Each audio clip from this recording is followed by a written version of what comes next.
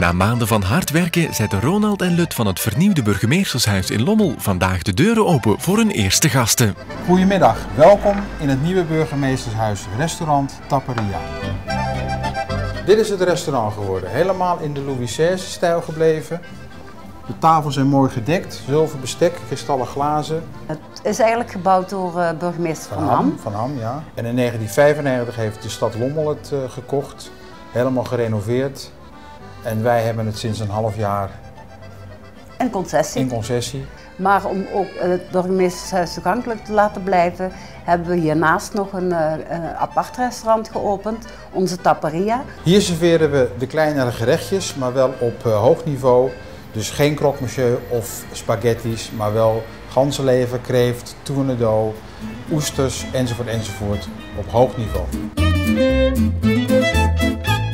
Lut die doet alles wat met gasten te maken heeft, de administratie. Ik ben verantwoordelijk voor de keuken en het onderhoud van de, de gebouw, zeg maar.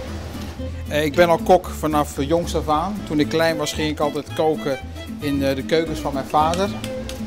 En zo heb ik het natuurlijk ook geleerd en heb ik de passie van dit vak gekregen. Zo, kijk ook een hapje Sam. Ja, zeker. Is dat paling? Ja, hè? Ja. Mm. Heb je alles onder controle, chef?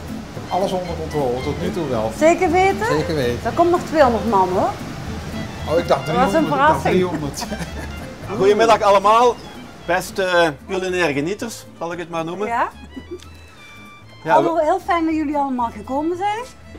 En uh, ze, ze, hebben al verteld, je krijgt wat, wat je verdient. En dat is het goede weer.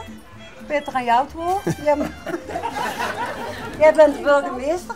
Ja, we hadden net afgesproken dat ik zou beginnen. Had er wat te? Ik uh, kan me voorstellen hoe moeilijk het voor Ronald is om met Lut te werken.